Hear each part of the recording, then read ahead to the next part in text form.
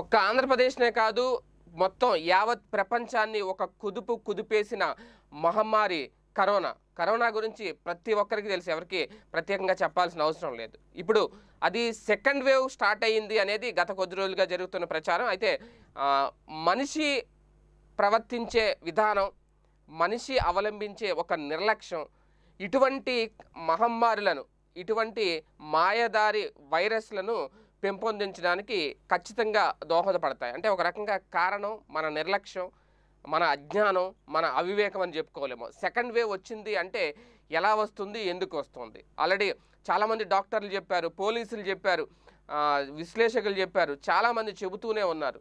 కానీ ఎవ్వరూ జాగ్రత్తలు తీసుకోలేదు. జాగ్రత్తలు తీసుకున్న వాళ్ళు ఓకే బాగానే ఉన్నారు. అజాగ్రత్తగా ఉన్న వాళ్ళ వల్ల మళ్ళీ మరొకసారి ఆ మహమ్మారి పొంచి ఉంది వచ్చేసింది అనేది. ఇప్పుడు తాజాగా ఆంధ్రప్రదేశ్లో కూడా మరొకసారి లాక్డౌన్ విధించే ప్రయత్నం మొదలుపెట్టింది రాష్ట్ర ప్రభుత్వం. అయితే ప్రధానంగా ఆల్రెడీ ఒక జిల్లాలో రెండు గ్రామాల్లో ఈ వైరస్ ప్రభావం తీవ్రంగా ఉండడం వల్ల మళ్ళీ అక్కడ లాక్డౌన్ ఏర్పాటు చేసేశారు. ప్రస్తుతం కొత్త కేసుల నమోదు కూడా పెరుగుతోంది రోజు రోజుకి.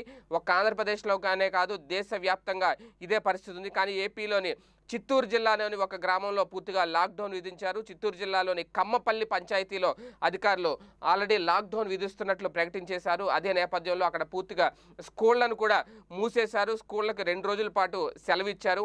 అంటే ఇక్కడ కొత్తగా రోజుకి పది కరోనా కేసులు మొదలవుతున్నాయంట. ఒక రకంగా ఈ గ్రామాన్ని పూర్తిగా రెడ్ జోన్గా కూడా ప్రకటించేశారు. చిత్తూరు జిల్లా కమ్మపల్లి పంచాయతీలో అధికారులు తీసుకున్న నిర్ణయం. అంటే ఒకప్పుడు లాక్డౌన్ అనేది కేంద్ర ప్రభుత్వం లేదంటే నరేంద్ర మోడీ వస్తేనో లేదంటే ముఖ్యమంత్రి జగన్మోహన్ రెడ్డి గారు వస్తేనే మాత్రమే లాక్డౌన్ ఏర్పాటు చేస్తారు కానీ ఇప్పుడు స్వచ్ఛందంగా ఎవరికి వాళ్ళు తమ గ్రామాలను కాపాడుకునేందుకు లాక్డౌన్ మొదలుపెట్టారు అనేది.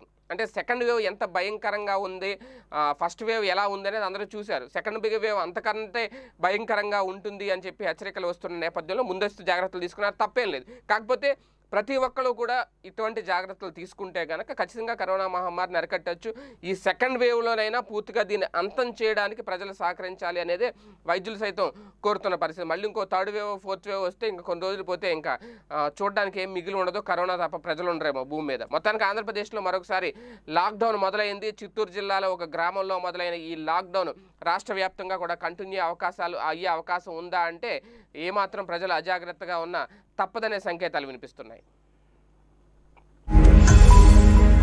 ఈ వీడియో గనక మీకు నచ్చినట్లయితే లైక్ చేయండి షేర్ చేయండి. మరిన్ని వీడియోస్ కోసం మా ఛానల్ను సబ్స్క్రైబ్ చేయండి.